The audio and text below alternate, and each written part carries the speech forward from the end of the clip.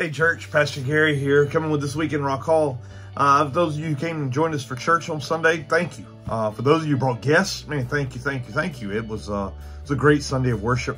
A lot of guests, a lot of visitors in church on Sunday. It was a good time together. So uh, I just want to thank you for all that. Hey, I've been following along with a, uh, a revival that's happening in Kentucky, at Wilmore, Kentucky, at Asbury Seminary.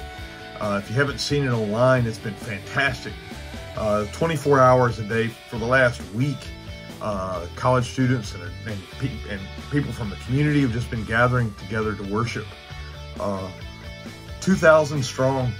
I guess it's it's closer to probably three or 4,000 now. I mean, I don't know. It's the room is several chapels there in the community are, are filled, uh, and people continue to worship. So join me in praying for those folks, and that that this revival would spread uh, that, that we would all get caught up in a renewed faith uh, as we see God move in our communities. So thank you for that. This Sunday, we, we continued our study of the Gospel of Luke. And in Luke chapter 20, we found Jesus being uh, labeled, or trying to be labeled. Uh, the Sadducees and the Pharisees, they wanted to label him as a heretic, label him as an enemy of, of Rome.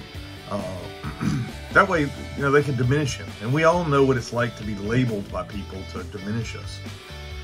but what if, or what about, us taking on a label, a label that of intention that we intentionally choose and apply it to our lives? That, that's what Jesus was trying to get at. And that's what I was trying to bring out of the text on Sunday. Is that the the point is is that is that as a as a follower of Jesus, as a disciple, we are children of God.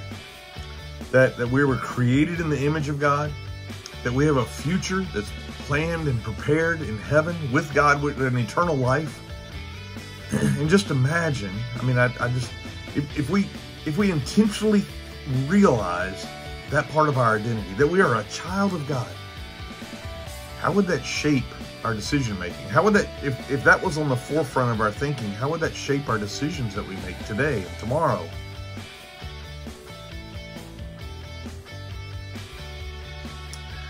How would it affect the way you live your life? Amen.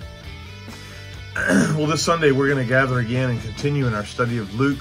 Uh, after church on Sunday, there is a gathering in Dover at Watcote United Methodist Church. The Global Methodist Church is having as a presentation to explain what they're all about. And I know that a couple of our churches here in Rock Hall are discerning uh, if that is a group that they want to re-affiliate with. Uh, so I know that there are a group of folks who are going over. If you'd like to join them, please make plans to do that. It's Sunday afternoon at 3 o'clock until 4.30 at Watcote United Methodist Church in Dover. So. And then next week, uh, next week Lent begins on Ash Wednesday. We're having our Ash Wednesday service at Rom Chapel Wednesday evening at 7 o'clock. I hope you're able to join us. You'll hear some more about that on Sunday.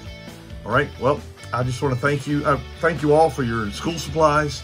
Uh, the school has been blessed with those this week.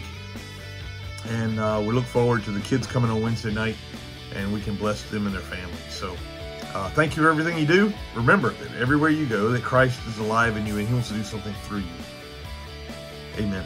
God bless you. Have a fantastic week and uh, look forward to seeing you soon. All right. God bless. Oh, happy Valentine's Day, too. Love y'all. Bye.